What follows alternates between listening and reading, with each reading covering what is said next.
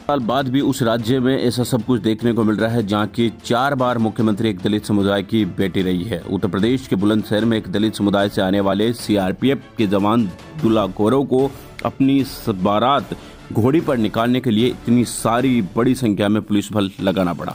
देश आज़ादी का पचहत्तरवा सालगिरह मन, मना रहा है और इससे ज़्यादा शर्मनाक कुछ भी नहीं हो सकता कि आज़ादी के पचहत्तर साल बाद भी दलितों को अपनी बारात निकालने के लिए इस तरीके से भारी संख्या में पुलिस बल तैनात करना पड़ा हो।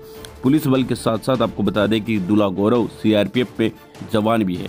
क्या इस गाँव के लोगों को भी इस ये मन में नहीं आता कि एक जो देश के लिए लड़ रहा है सैनिक, उसके साथ इस तरीके का भेदभाव ना किया जाए? क्या वो लोग आगे आकर इस दूल्हे की घोड़ी खुद पकड़कर नहीं निकलवा सकते थे? हो सकता था, लेकिन देश में जातिवाद हावी